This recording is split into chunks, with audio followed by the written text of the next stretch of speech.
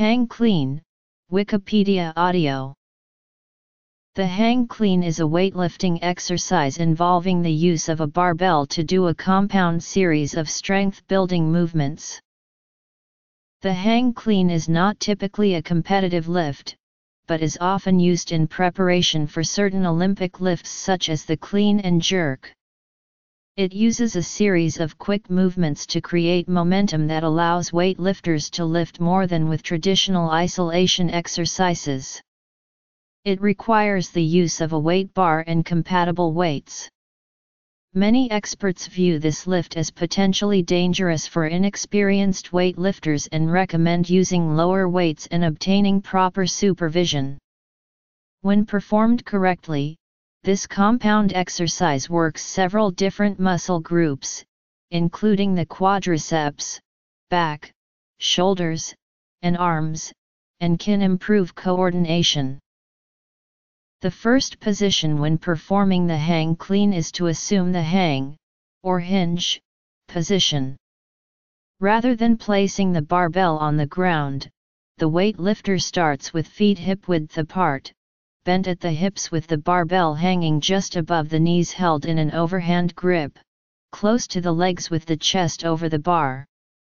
The knees should be slightly bent and not locked. The weightlifter should maintain a flat back and keep the head up. Background From the starting position, the weightlifter then should begin the movement by powerfully extending through the hips, knees, and ankles to create an upward momentum. At the same time, the weightlifter should shrug the shoulders toward God. As this motion starts to bring the barbell upward, the weightlifter flexes the arms to bend the elbows upward and outward. This creates a vertical trajectory. The weightlifter should focus on keeping most of the weight on the heels to manage this force while pushing the shoulders back. Some people even recommend performing a slight jump for added momentum. As the bar is propelled upwards, the weightlifter shifts his or her body under the bar to catch the weight using his or her chest.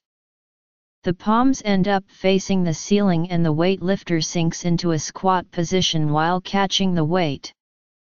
This is also known as racking the weight. The end of the movement is when the weightlifter stands fully upright, then bends the knees slightly to lower the weight back into the starting position. There are a few variations and alternative exercises to the hang clean, including the clean and the power clean. Many athletes use this exercise to prepare for the clean and jerk, which is a competitive weightlifting exercise seen in the Olympics. Movement Starting position, hanging. Second position, extending. Third position, catching. Variants